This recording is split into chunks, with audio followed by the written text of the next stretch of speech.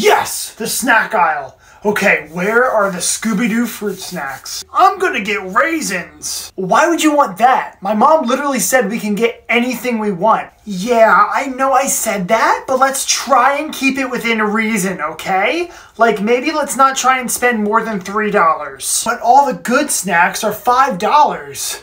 The raisins are only $2.49. See, your cousin was able to find something under $3. You can find something too. Mom, what about these? Those are $3.50. Do I look like I'm made out of money? What about these rice cakes? They look good, right? I want to move to Billy's house. They always have good snacks there.